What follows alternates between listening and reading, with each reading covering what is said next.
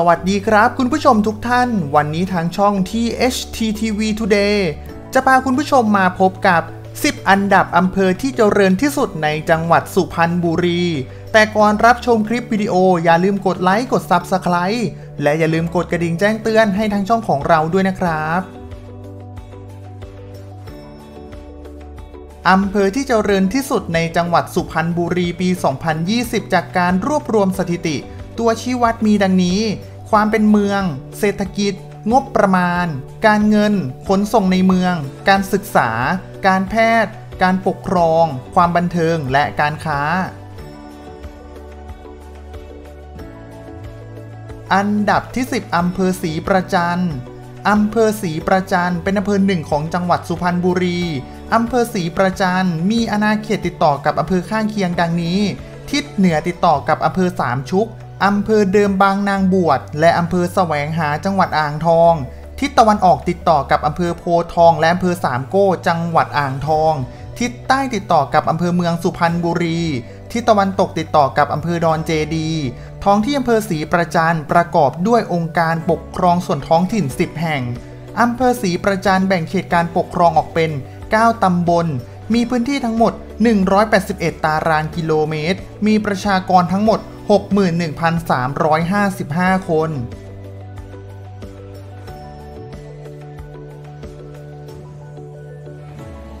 อันดับที่ 9 อำเภอหนองย่าไซ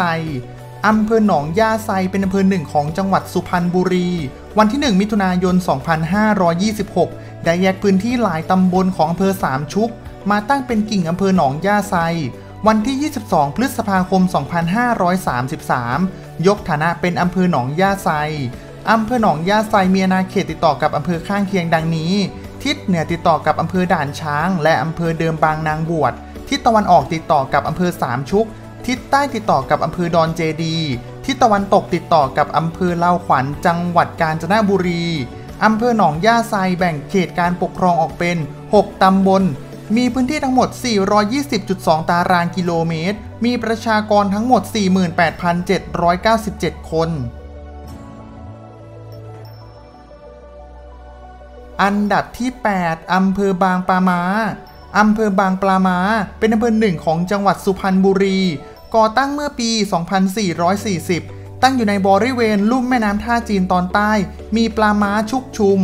ที่ว่าการอำเภอหลังแรกตั้งอยู่บริเวณปากคลองบางปามา ในปี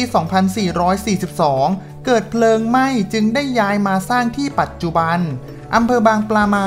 มีอาณาเขตติดต่อกับอำเภอข้างเคียงดังนี้ ทิศเหนือติดต่อกับอำเภอเมืองสุพรรณบุรี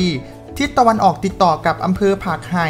และอำเภอบางซ้าย จังหวัดพระนครศรีอยุธยา ทิศใต้ติดต่อกับอำเภอสองพี่น้อง ทิศตะวันตกติดต่อกับอำเภออู่ทอง อำเภอบางปลามา แบ่งเขตการปกครองย่อยออกเป็น 14 ตำบล 127 หมู่บ้าน มีพื้นที่ทั้งหมด 481.3 ตารางกิโลเมตร มีประชากรทั้งหมด 76,493 คน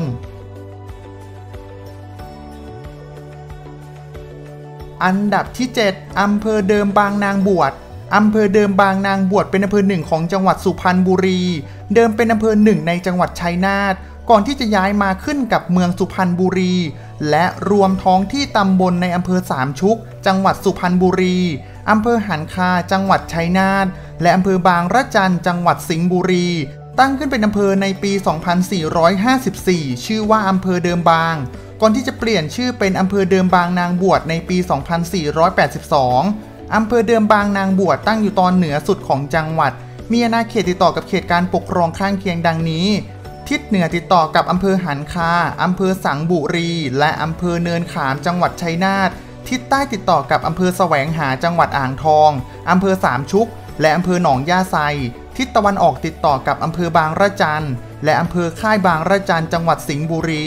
ทิศตะวันตกติดต่อกับอำเภอด่านช้าง อำเภอเดิมบางนางบวชแบ่งเขตการปกครองออกเป็น 14 ตำบลมีพื้นที่ทั้งหมด 552.3 ตารางกิโลเมตร มีประชากรทั้งหมด 71,088 คน อันดับที่ 6อำเภอดอนเจดีอำเภอดอนเจดีเป็นอำเภอหนึ่งของจังหวัดสุพรรณบุรี เมื่อปี 2505 ทางราชการได้ยกฐานะเป็นตำบลดอนเจดี และเมื่อปี 2508 จึงแยกเป็นอำเภอดอนเจดีอำเภอดอนเจดีมีอาณาเขตติดต่อกับเขตการปกครองข้างเคียงดังนี้ ทิศเหนือติดต่อกับอำเภอหนองย่าไซและอำเภอสามชุก ทิศตะวันออกติดต่อกับอำเภอศรีประจันทิศใต้ติดต่อกับอำเภอเมืองสุพรรณบุรี และอำเภออู่ทอง ทิศตะวันตกติดต่อกับอำเภออู่ทอง และอำเภอเล่าขวัญจังหวัดกาญจนบุรีอำเภอดอนเจดี แบ่งเขตการปกครองออกเป็น 5 ตำบล 50 หมู่บ้าน มีพื้นที่ทั้งหมด 252.081 ตารางกิโลเมตร มีประชากรทั้งหมด 45,780 คน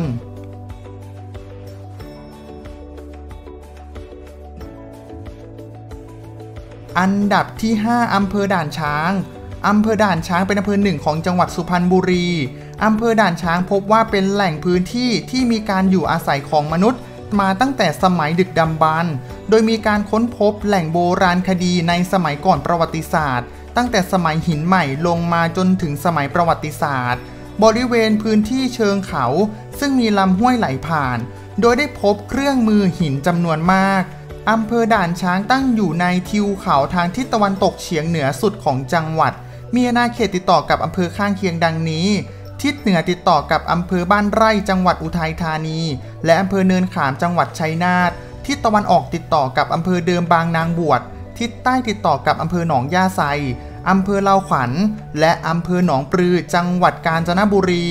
ทิศตะวันตกติดต่อกับอำเภอศรีสวัสดิ์จังหวัดกาญจนบุรี อำเภอด่านช้างแบ่งเขตการปกครองออกเป็น 7 ตำบล 93 หมู่บ้าน มีพื้นที่ทั้งหมด 1,193.6 ตารางกิโลเมตร มีประชากรทั้งหมด 67,843 คน อันดับที่ 4 อำเภอสามชุก อำเภอสามชุกเป็นอำเภอหนึ่งของจังหวัดสุพรรณบุรี ซึ่งเป็นอำเภอเก่าแก่และมีความสำคัญแห่งหนึ่งในประวัติศาสตร์ไทย เมื่อปี 2437 ทางราชการได้ตั้งชื่ออำเภอที่มีชื่อว่า อำเภอนางบวช และบ้านสามชุกมีสถานะเป็นตำบลตำบลหนึ่งขึ้นอยู่กับอำเภอนางบวช ครั้นถึงปี 2454 ได้มีการเสนอขอจัดตั้งอำเภอขึ้นอีกแห่งหนึ่ง แยกจากอำเภอนางบวช ในบริเวณหมู่บ้านเขาพระ โดยใช้ชื่อว่าอำเภอเดิมบาง จึงทำให้ต้องย้ายที่ว่าการอำเภอนางบวช ซึ่งขณะนั้นตั้งอยู่ในพื้นที่ของอำเภอที่ตั้งขึ้นใหม่ ลงมาอยู่บริเวณหมู่บ้านสามเพงในพื้นที่ตำบลสามชุก กระทั่งปี 2482 จึงได้มีการเปลี่ยนชื่อจากอำเภอนางบวชเป็นอำเภอสามชุก เพื่อไม่ให้เกิดการสับสนกันในอดีต และให้สอดคล้องกับชื่อตำบลที่ที่ว่าการอำเภอตั้งอยู่อำเภอสามชุก มีอาณาเขตติดต่อกับเขตการปกครองข้างเคียงดังนี้ ทิศเหนือติดต่อกับอำเภอเดิมบางนางบวช ทิศตะวันออกติดต่อกับอำเภอแสวงหา จังหวัดอ่างทอง และอำเภอศรีประจันทิศใต้ติดต่อกับอำเภอศรีประจันและอำเภอดอนเจดีทิศตะวันตกติดต่อกับอำเภอหนองย่าไซอำเภอสามชุกแบ่งพื้นที่การปกครองออกเป็น 7 ตำบล 68 หมู่บ้าน มีพื้นที่ทั้งหมด 355.9 ตารางกิโลเมตร มีประชากรทั้งหมด 52,808 คน อันดับที่ 3 อำเภออู่ทอง อำเภออู่ทองเป็นอำเภอหนึ่งของจังหวัดสุพรรณบุรี อำเภออู่ทองจัดตั้งขึ้นเมื่อปี 2448 โดยมีชื่อเมื่อแรกตั้งว่า อำเภอจระเข้สามพันแบ่งเขตการปกครองออกเป็น 10 ตำบล ต่อมาทางราชการได้พิจารณาเห็นว่า ท้องที่อำเภอจระเข้สามพันเป็นที่ตั้งของเมืองโบราณที่เรียกว่า เมืองท้าอู่ทอง จึงได้ย้ายที่ว่าการอำเภอจากหมู่บ้านจระเข้สามพัน มาตั้งณบริเวณเมืองโบราณเท้าอู่ทอง และให้เปลี่ยนชื่ออำเภอจระเข้3,000เป็นอำเภออู่ทอง เพื่อให้สอดคล้องกับประวัติศาสตร์ตั้งแต่ปี 2482 อำเภออู่ทองมีอาณาเขตติดต่อกับเขตการปกครองข้างเคียงดังนี้ ทิศเหนือติดต่อกับอำเภอดอนเจดีทิศตะวันออกติดต่อกับอำเภอเมืองสุพรรณบุรี อำเภอบางปลามา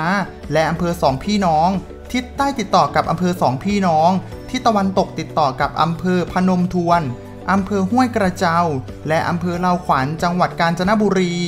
อำเภออู่ทองแบ่งเขตการปกครองออกเป็น 13 ตำบล 154 หมู่บ้าน มีพื้นที่ทั้งหมด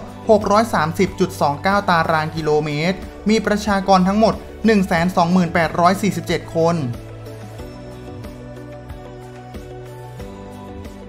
อันดับที่ 2อำเภอสองพี่น้อง อำเภอสองพี่น้องเป็นอำเภอหนึ่งของจังหวัดสุพรรณบุรี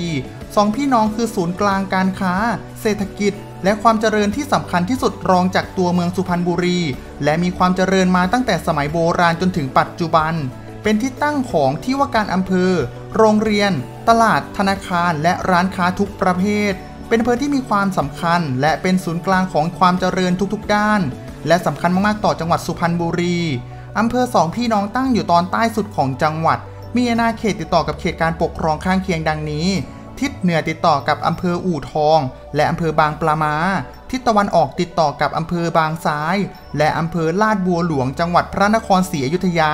ทิศใต้ติดต่อกับอำเภอบางเลนอำเภอกำแพงแสน จังหวัดนครปฐม และอำเภอท่ามะกา จังหวัดกาญจนบุรี ทิศตะวันตกติดต่อกับอำเภอพนมทวนจังหวัดกาญจนบุรี อำเภอสองพี่น้องแบ่งเขตการปกครองย่อยออกเป็น 15 ตำบล 140 หมู่บ้าน มีพื้นที่ทั้งหมด 750.4 ตารางกิโลเมตร มีประชากรทั้งหมด 126,341 คนอันดับที่ 1 อำเภอเมืองสุพรรณบุรี อำเภอเมืองสุพรรณบุรีเป็นอำเภอหนึ่งของจังหวัดสุพรรณบุรี เป็นอำเภอที่มีความเจริญที่สุดในจังหวัดสุพรรณบุรี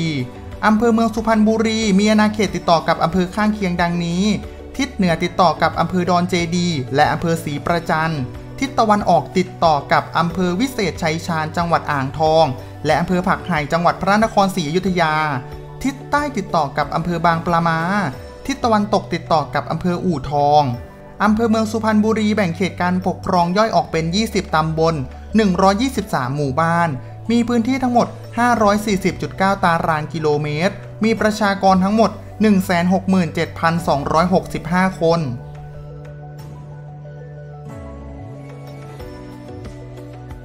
และนี่ก็คือเรื่องราวทั้งหมดของ 10 อันดับอำเภอที่เจริญที่สุดในจังหวัดสุพรรณบุรี ที่นำมาฝากคุณผู้ชมในวันนี้นะครับ สุดท้ายฝากติดตามคลิปต่อๆไปของทางช่องของเราด้วยนะครับ ถ้าชอบอย่าลืมกดไลค์กด Subscribe ให้ทางช่องของเราด้วย ขอบคุณครับ